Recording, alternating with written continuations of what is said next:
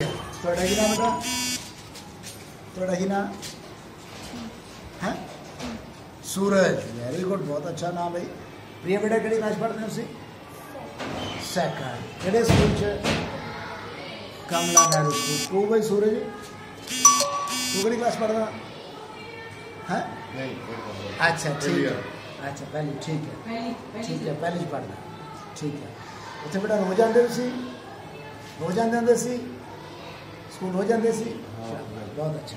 ਚਲੋ ਕਿੰਨੇ ਕਿੰਨਾ ਸਮਾਂ ਪੜ ਗਿਆ ਉੱਥੇ ਇਹ? ਕਿੰਨਾ ਚਿਰ ਹੋ ਜਾਂਦਾ ਇਹ ਗੁੜੀਆ ਨੂੰ ਆਪਣੇ ਨੂੰ ਜੀ ਚੌਥਾ ਪੰਜਵਾਂ ਸਾਲ ਹੋ ਚੱਲਿਆ ਜੀ।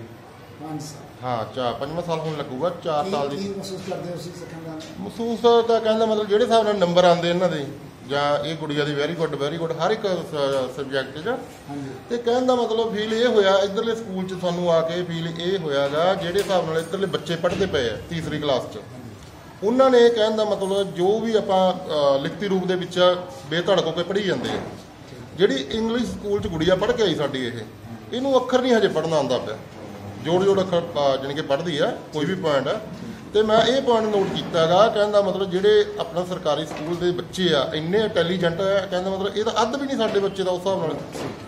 ਫਿਰ ਤੁਸੀਂ ਇਸ ਕਰਕੇ ਆ ਸਾਡੇ ਕੋਲੇ ਜਾਣ ਲੱਗੇ। ਹਾਂਜੀ ਇੱਥੇ। ਹਾਂਜੀ। ਚਲੋ ਅਸੀਂ ਤੁਹਾਨੂੰ ਕਿ ਕੱਲਾ ਇਹ ਨਹੀਂ। ਹੋਰ ਵੀ ਬਹੁਤ ਸਾਰੀਆਂ ਗੱਲਾਂ ਦੱਸਦੇ ਆ। ਕੱਲਾ ਅਸੀਂ ਬੱਚਿਆਂ ਨੂੰ ਪੜਾਉਂਦੇ ਨਹੀਂ। ਇਹਦੇ ਵਰਦੀਆਂ ਹੈਗੀਆਂ ਕਿਤਾਬਾਂ ਹੈਗੀਆਂ ਰੋਜ਼ ਖਾਣ ਦਾ ਮਤਲਬ ਕਿ ਮਿਡ ਡੇ ਮੀਲ ਹੈਗਾ ਸਾਰਾ ਠੀਕ ਹੈ?